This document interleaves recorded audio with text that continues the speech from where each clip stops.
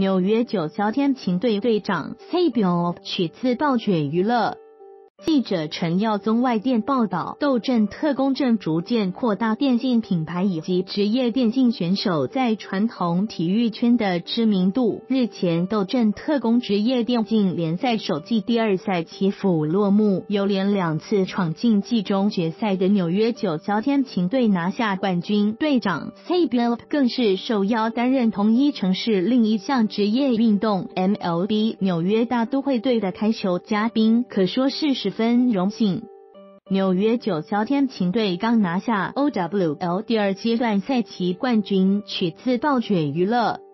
根据 Invent 报道，纽约九霄天琴队队长 Sabiel 将在四月二日为纽约大都会主场开球。这次开球有着十分特别的意义。过往名声卓越的南韩人担任 MLB 开球嘉宾并非首遭，但由南韩职业电竞选手开球可说是头一遭。这也代表电竞选手在职业赛场的卓越表现已经为传统体育竞技所关注。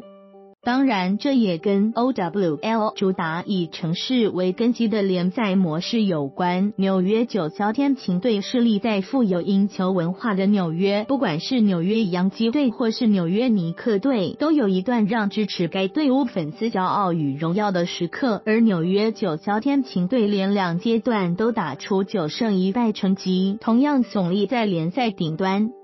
不只是 OWL，以英雄联盟来说，今年北美赛区就不乏传统职业球团投资购入电竞队伍，如休斯顿火箭与金州勇士两支球团，还更是邀请两种不同竞技的职业选手相见欢，也可看出电竞慢慢受到传统体育竞技的重视。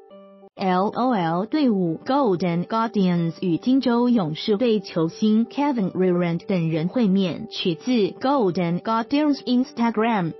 LOL 队伍 Clutch Gaming 与休斯顿火箭队队球星 James Harden 等人会面，取自 Clutch Gaming Instagram。